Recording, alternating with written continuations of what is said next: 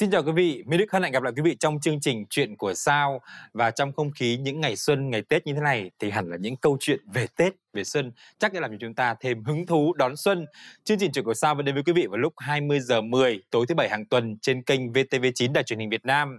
Và ngày hôm nay khách mời của chúng ta Mỹ Đức nghĩ là sẽ có nhiều câu chuyện về Tết khác nhau được anh ấy chia sẻ à, từ phong tục đón Tết cho đến cách mà anh ấy tận hưởng những ngày Tết của mình. Khi Khánh Hoàng mới xuất hiện trên sân khấu ca nhạc và sóng truyền hình, nhiều khán giả đã xúc động về câu chuyện một chàng trai người dân tộc Tây đã vượt qua những cấm đoán khắc nghiệt từ gia đình để bằng mọi giá trở thành ca sĩ như ước mơ luôn giấu kín từ khi còn nhỏ và Khánh Hoàng đã làm được.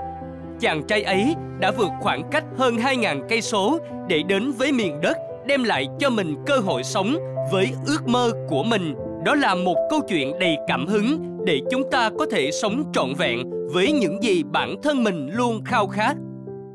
Chúng tôi cùng chào đón nam ca sĩ Khánh Hoàng đến với chuyện của sao. Chào Khánh Hoàng. Yeah, dạ, xin chào anh Minh Đức và xin chào tất cả quý vị khán giả đang theo dõi chương trình Chuyện của sao.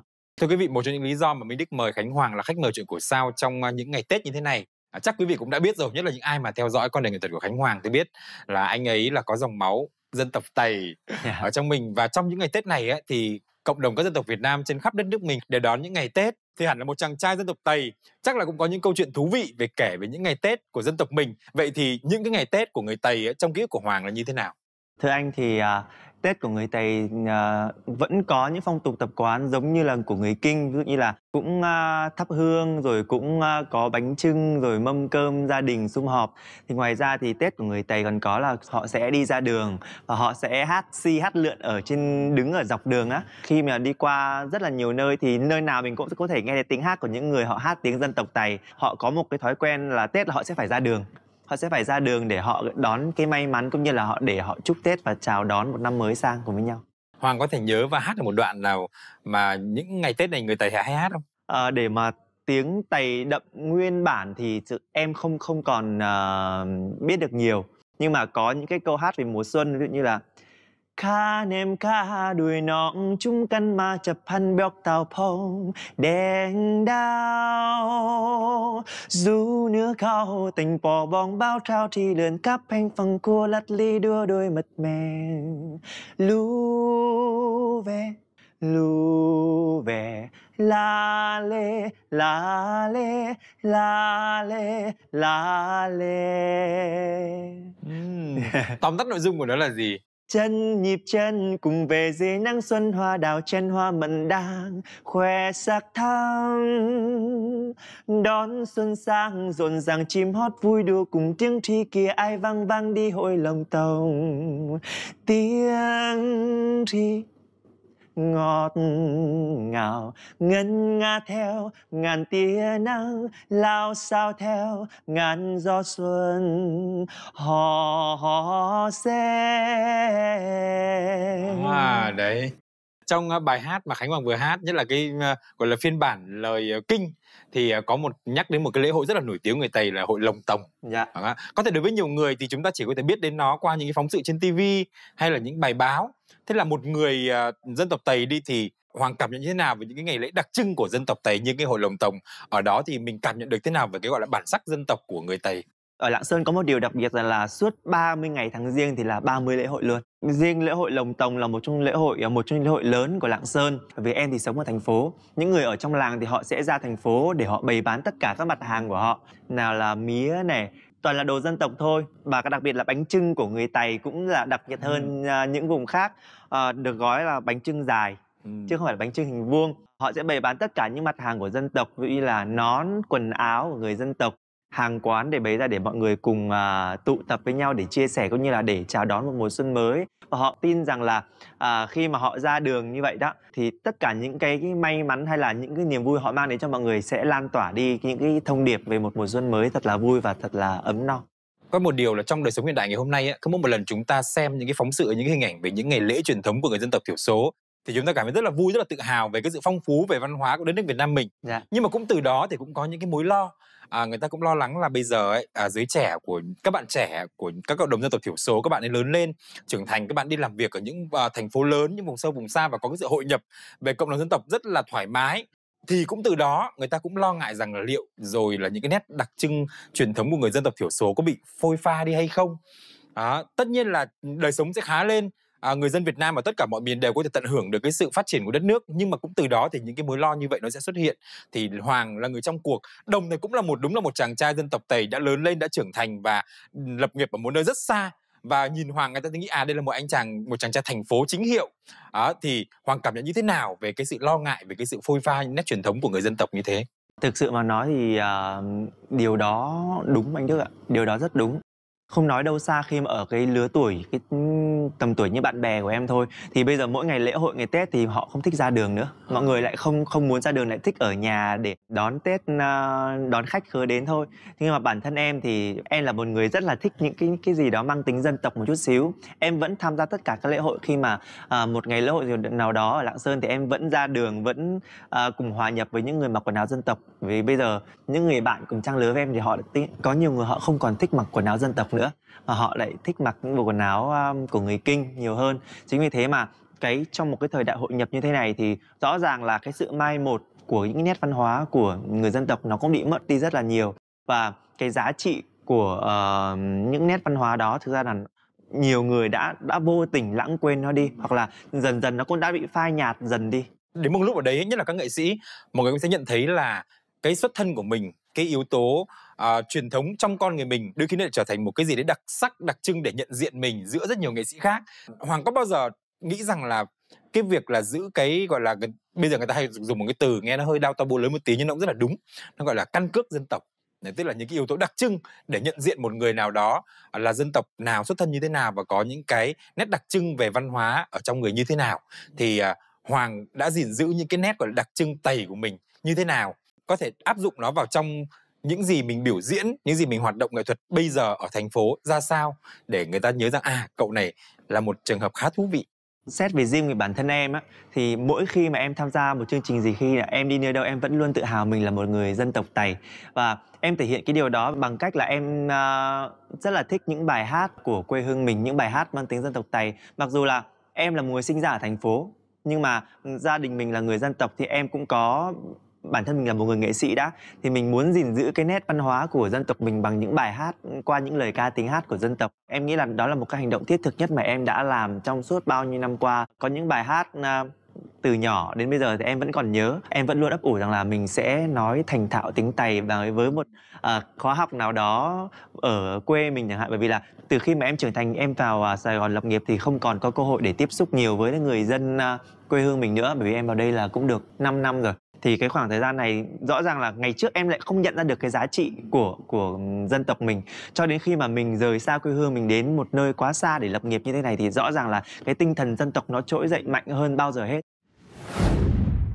vì Hoàng đã lập nghiệp và đã phát triển con đường của mình là một ca sĩ dòng nhạc trữ tình dòng nhạc bolero yeah. Dạ. đấy thì uh, có vẻ nó sẽ hơi khác với những gì người ta hình dung với một ca sĩ xuất thân từ dân tộc Tây chẳng hạn như là những ca sĩ Tây Nguyên chẳng hạn người ta sẽ hay. Dạ. mặc định họ sẽ là những người hát những dòng nhạc Tây Nguyên. Dạ. à, dòng nhạc âm hưởng uh, dân gian dân tộc và giật nhạc dân gian đương đại thế còn với những ca sĩ như Khánh Hoàng thì Hoàng lại chọn dòng nhạc bolero thì ở hỏi góc độ ngược lại khi mà Hoàng trở về quê của mình ấy thì Hoàng thấy là đồng bào của mình đồng bào Tây của mình ấy họ đón nhận dòng nhạc của Khánh Hoàng như thế nào mọi người vẫn à, rất là đón nhận dòng nhạc bolero anh Đức ạ. Nói đâu xa chứ riêng gia đình em là một người dân tộc Tày thế nhưng mà rõ ràng là nhạc bolero mở 24 trên 24.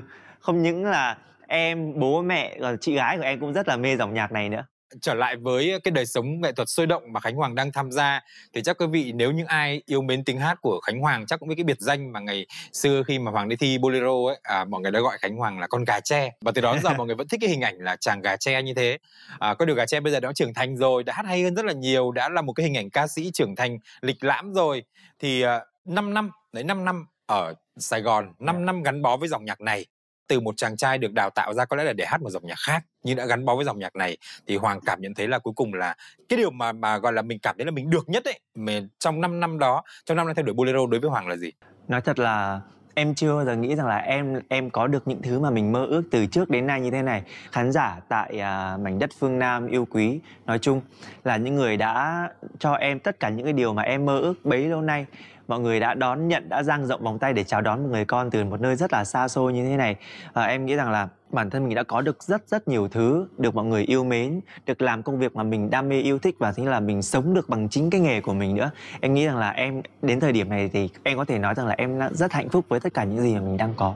À, Minh Đức nhớ là 5 năm trước ấy, khi mà Hoàng bắt đầu à, à, đi thi hát và Hoàng có chia sẻ cái câu chuyện của mình rằng là để đến được với đam mê của mình là một cái hành trình cũng không phải là dễ dàng từ việc là gọi là cưỡng lại những cái mong muốn của gia đình à, và đôi khi cũng và bị gia đình ngăn cản rất là quyết liệt và bằng mọi cách để Hoàng có thể là theo đuổi được cái đam mê ca hát của mình thì đến bây giờ 5 năm đã qua kể từ những cái ngày đó à, thậm chí có thể lâu hơn nữa thì đến bây giờ mọi người trong gia đình à, Hoàng trong dòng họ của Hoàng đã nhìn nhận về cái con đường ca nhạc của Hoàng lúc này như thế nào? Dạ, à, một điều đáng mừng đó là bố mẹ em và gia đình đã có một cái nhìn à, rất là thiện cảm và đã đồng hành với em suốt khoảng thời gian qua cho đến tận bây giờ. Mọi người à, đã chấp nhận rằng là à đây là một cái nghề nó không phải là quá xa vời giống như là bố mẹ em trước giờ vẫn luôn luôn ừ. luôn nghĩ đến.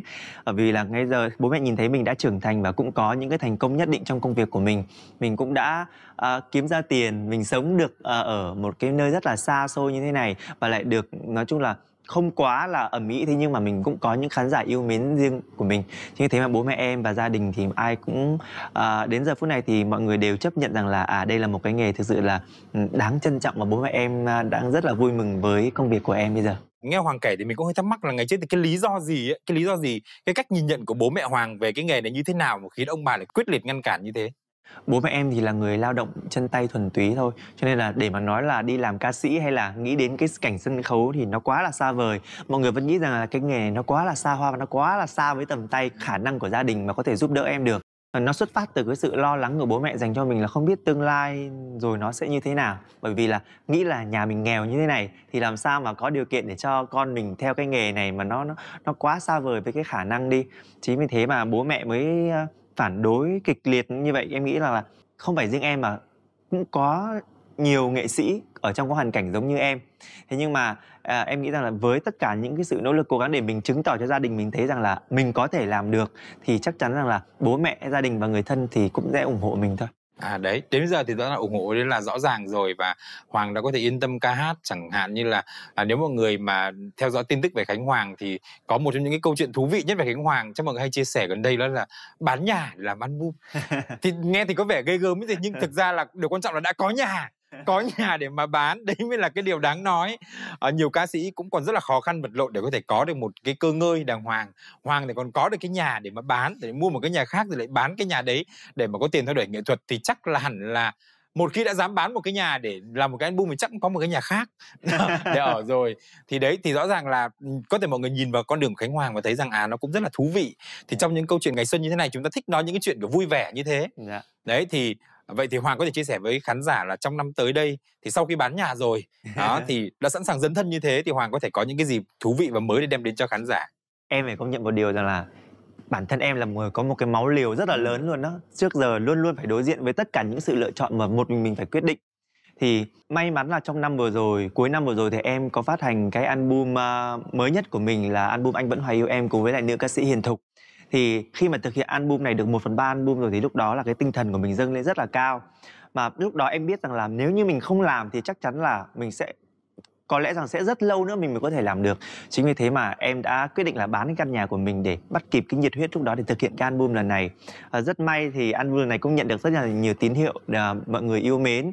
Và à, trong năm tới này thì em hy vọng rằng là mình sẽ tiếp tục à, em đang có rất là nhiều dự định trong trong mình rồi. Và cho lẽ là em sẽ bắt tay thực hiện sau Tết này. Em sẽ thực hiện một album với tên gọi là à, lời quê hương mình ừ. với những ca khúc của ba miền. Ca khúc ở miền núi quê hương em miền Trung và miền Nam nữa. Thì em hy vọng rằng là với tất cả sự cố gắng của mình thì năm nay em sẽ không phải bán một căn nhà nào hết nữa để khi mà thực hiện album lần này cảm ơn Khánh Hoàng rất là nhiều đã đến với chuyện của sao và hy yeah. Dạ. vọng là album sắp tới của Khánh Hoàng sẽ có trong đó những nét giai điệu đặc trưng của dân tộc Tây để quý vị thấy là chàng trai dân tộc Tây ra đi từ Lạng Sơn à, đã đem tình yêu quê hương vào trong âm nhạc của mình như thế nào. Xin chúc Hoàng có một năm mới thật nhiều thành công, nhiều niềm vui và có thêm nhà. cảm ơn Minh Đức rất nhiều và cảm ơn tất cả quý vị khán giả đã theo dõi chương trình à, Chuyện của Sao ngày hôm nay. Trở lại với Chuyện của Sao trong không khí những ngày đầu năm mới nữ ca sĩ Như Hảo sẽ mang đến những câu chuyện đầy cảm xúc về cái Tết trong kỷ niệm thơ ấu và thanh xuân và những cái Tết xa quê hương đông đầy bao nhớ thương.